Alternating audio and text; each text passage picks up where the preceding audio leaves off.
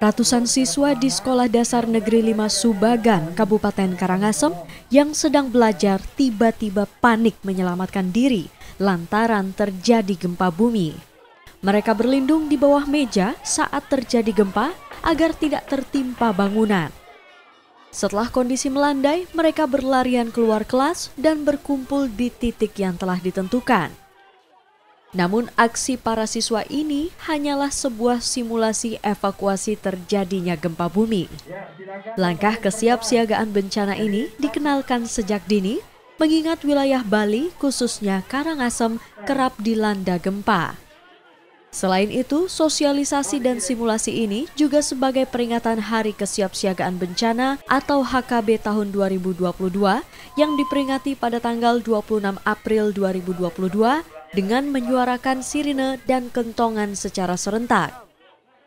Hari kesiapsiagaan bencana sudah tentunya sosialisasi kepada usia dini sangat kita harapkan sehingga anak-anak kita, adik-adik kita lebih awal mengetahui potensi bencana yang ada di Kabupaten Karangasem.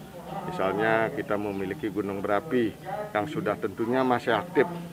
Sampai kapan pun masih aktif tetapi bagaimana pengetahuan adik-adik kita sangat berguna untuk bekal hidupnya di Kabupaten Karangasem.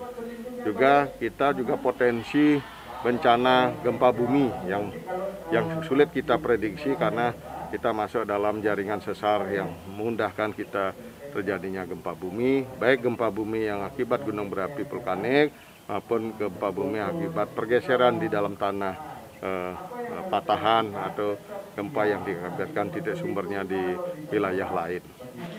Untuk eh, kesiapan eh, kesiagaan bencana tetap akan eh, diprogramkan mungkin tiap hari Sabtu anak-anak kami akan berikan waktunya untuk melaksanakan simulasi edukasi tentang kesiapan kesiagaan bencana. Uh, yang berterima kasih kepada Pemda, terutama uh, Bapak Bupati Kabupaten Karangasem, khususnya Badan Penanggulangan Bencana Daerah. Dengan simulasi seperti ini, diharapkan masyarakat paham untuk menyelamatkan diri ketika terjadi bencana, agar tidak menimbulkan korban jiwa.